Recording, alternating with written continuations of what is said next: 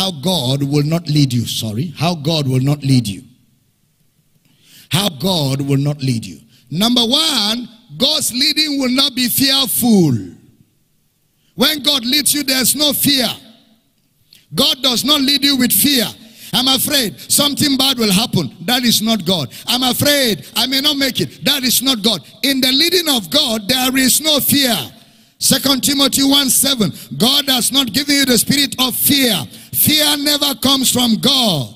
He has given his angels charge over you to keep you in all your ways, lest you dash your foot against a stone. I close with First John 4 18. First John chapter 4, verse 18. The remaining points are given the next service. Then I will show you two simple ways to recognize the leading of God in the next service. There is no fear in love. Somebody shout, no fear here. I didn't hear you at all. Can I hear it one more time? Put up the scripture. But perfected love casted out fear. Edo Shagaba. Because fear had torment. He that feareth is not made perfect in love. Fear has torment, means fear has bondage. God doesn't put people in bondage. You have not received the spirit of bondage again to fear. So any prophecy, any leading, any direction, any perception that brings fear is not God. Once there is fear in it, rule God out. God does not do business with fear. He delivers people from fear. Any word of knowledge, prophecy that hits you and fear overshadows you, park the word of knowledge, park the prophecy with everything it brought, put in the dustbin. If it is God, it will provoke faith. It will not provoke fear. God has no business with fear. He delivers from fear. Let me close with this story. I was traveling from Calabar. You know, a few years ago when Calabar Road used to be blocked and there'll be no passage. So we went to Calabar to preach and the road was blocked. Two days, nobody was coming from Calabar. Then they told me that there is a shortcut through Oron that will go through the sea. See? me and sea, we don't have anything in common. Oh. because I cannot swim. See? They say, yeah, you have to go through the sea. Otherwise, we don't know when the road will open. Then we were with our car. They say, no, there's a ferry that will carry both the car and the human beings. What? Okay. I don't want to stay in Calabar. So we went to the, the sea. They loaded eight cars on the ferry.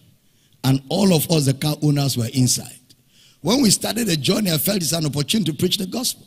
So I stood up and said, ladies and gentlemen, give me your ears. I want to share with you the word of God. Leave us alone, don't disturb us. Uh -uh. I, I want to share with you the word of God. They ignored me in that ferry and refused to listen. So I sat down and I mind my business.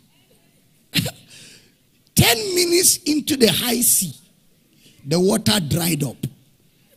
The ferry sat on sand and started sinking. We just heard ourselves going, shh, shh. The people started screaming. I said, But I told you to give me your ears, let me preach. Now I will have performed a miracle. Everybody said, Please perform the miracle. Please. I say, I'm not performing. They gather, uh, they were holding my leg. Please, sir, please, sir, please, sir, perform the miracle. I say, Wait, before I perform the miracle, I have to preach. They say, We are dying. I say, No, I will command the ferry not to go down again. So they say, Okay, please. I say, In the name of Jesus, sand, hold your peace. Ferry, stabilize. Everything stabilized. I said, okay, everybody sit down. Quickly. All of them with all their big, big cars sat down. I say, I want to preach the word of God. They say, yes, sir. Yes, sir. Anything you do now, we are for you. I preach correct gospel. I got people born again. Uh, who will not be born again there? Even the cars were born again. Now there's an evangelist that always walk, you know, travels through that ferry preaching, who was in that ferry with me that day. And he was supporting me. Then after I led them to Christ, prayed for everybody, I now said, I want to take an offering. But so that you will give good offering, I'm going to command the water to come back. so that this ferry can begin to float. Then I will take the offering. So I spoke to the water, and then I now said to them, We're going to sing a song and give God thanks. So we started singing, and water started coming. Water started coming. Before you know it, the ferry was floating on the water. And I said, Before we start the journey, I will take the offering. Come and see money. Ah! Holy Ghost. Money came out like this in the ferry, no bank. It was inside their pockets. I collected the offering very well. Then I now told the captain of the ferry to proceed. So we began to travel. Then I prayed for people that needed prayer and miracles. It became a full blown service. As we're arriving Oron, I just gathered all the plenty money they gave me. I said, Evangelist. He said, Yes, sir. I said, This is for you. You've been preaching in this ferry. I'm not sure anybody has ever given you offering. God brought me today to comfort your soul. Take all the money, keep preaching. And then we highlighted and came down. The man said, Can I have your number, sir? I gave him people collecting my number. That day I became the celebrity in that place. Odudu. the man came to Uyo the evangelist and said, Sir, I tell you, God sent you. I've been preaching in that ferry year in, year out. Nobody ever gave me anything. That offering is the biggest offering I've ever seen. I said, Go there and be doing miracles. More offering.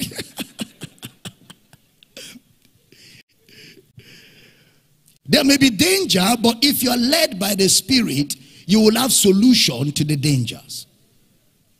But if you're led by your mind, your mind has no solution to offer. So that's why we've got to be led. We've got to walk in the spirit. We are born of God. And direction comes from inside out. Are you blessed this morning? If you're blessed, can I have a powerful amen?